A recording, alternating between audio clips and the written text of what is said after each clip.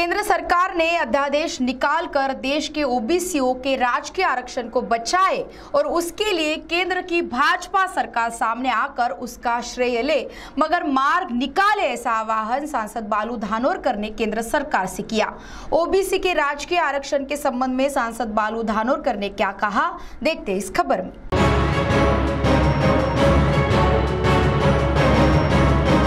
सर्वोच्च न्यायालय ने मंगलवार को मध्य प्रदेश सरकार को ओबीसी के आरक्षण के सिवाय दो हफ्तों के भीतर पंचायत चुनाव की अधिसूचना निकालने का आदेश न्यायालय ने दिया है। महाराष्ट्र के बाद मध्य प्रदेश को इसका झटका बैठा हुआ है और इस रिज़ल्ट के कारण अब देश भर में ओबीसी का राजकीय आरक्षण धोखे में आ गया है। केंद्र ने इम्पीरियल डेटा नहीं दिया, जिसके कारण यह परिस्थिति हो गई है। ओबीसी का राजकीय आरक्षण समाप्त करने का यह भाजपा की चाल है। ओबीसी के संबंध में अगर भाजपा को इतना प्रेम है तो ओबीसी का राजकीय आरक्षण के लिए केंद्र ने अध्यादेश निकाले, ऐसा आह्वान सांसद बाड़ू धानोरकर ने भाजपा से किया है। न्यायालय के आज के रिज़ल्ट पर बोलते हुए धानोरकर ने कहा कि देश में किसी भी राज्य ने ट्रिपल टेस्ट पूरी नहीं की है, जिसमें भाजपा की सत्ता रहे, राज्य भी है। मगर सिर्फ़ महाराष्ट्र को मुश्किल में डालने के लिए भाजपा के कुछ लोगों ने न्यायालय में जाकर यह खेल खेला है। मगर यह देश को महँगे में पड़ गया है और हमारे लिए खोदे गए गड्ढे में सभी देश के ओबीसी चले गए हैं। ओबीसी आरक्षण मिल नहीं रहा है। यह केंद्र सरकार का पाप है और अब इस पर एक ही पर्याय है कि केंद्र सरकार ने अध्यादेश निकालकर देश में ओबीसी आरक्षण को बचाए जिसके लिए भाजपा आगे आए,